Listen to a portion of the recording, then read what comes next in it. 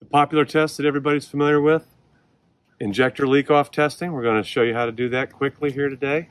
We just need to remove these five clips. And these clips aren't too bad. They aren't highly spring loaded, so they're not going to go airborne. Of course, you don't want to drop them down in the engine. Set them off to the side where it's safe, and then wiggle these out.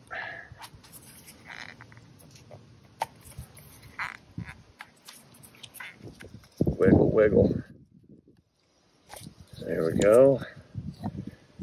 Now, we don't want fuel squirting out of all these little nipples here. So we're going to clamp that off. And now we can attach the 3 8 inch hose on top of here. Uh, the common 3 8 inch inside diameter clear, I think it's vinyl tubing fits, but we've got the little vials that are made for it, so we're going to use these.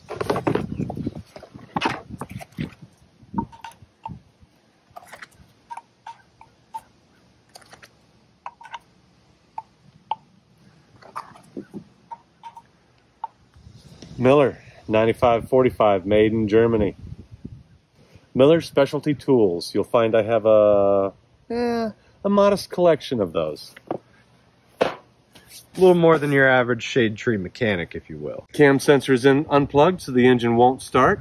Ideally, we'd be doing this test when the engine is warm, but if the engine won't start, man, it's kind of hard to warm it up, isn't it? Ideally, we want to get a little bit of fuel in every vial, but more importantly than how much is that it's equal across all four, all five cylinders.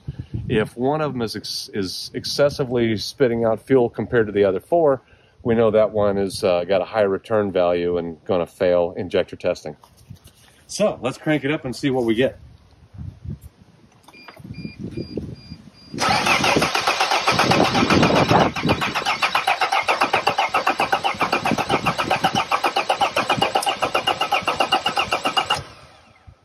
That might not have been 10 seconds, but I can see right away what we're getting here, which is nothing.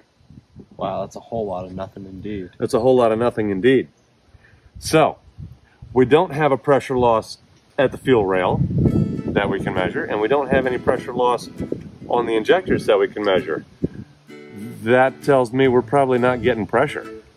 We continue to look for why this engine won't start.